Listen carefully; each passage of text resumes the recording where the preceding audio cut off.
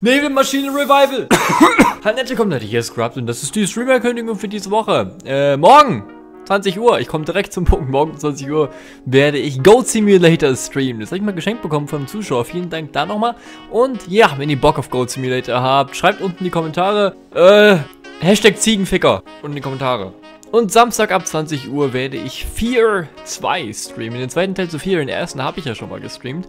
Und jetzt werde ich den zweiten komplett durchzocken in einem Go am Samstag. Ich werde versuchen, so schnell wie möglich durchzukommen. Ich habe schon mal auf der Playstation damals durchgespielt. Das heißt, ich weiß in etwa, was ich machen muss. Es dürfte nicht so mega lange dauern.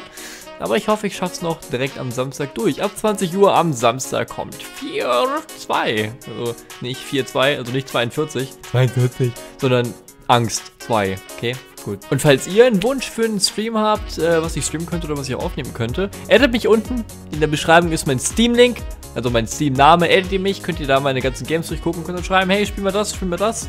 Darauf habe ich Bock, darauf habe ich nicht so Bock. Warum hast du das Spiel gekauft? Du bist schwul. Oder irgendwie sowas könnt ihr mir dann sagen.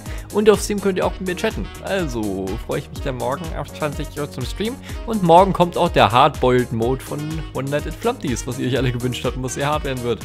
Aber da freue ich mich nicht so drauf. Doch, ich freue mich nicht. Das Spiel macht Spaß, ist ein gutes Spiel. Aber sonst, ja, wir sehen uns. Bye, bye.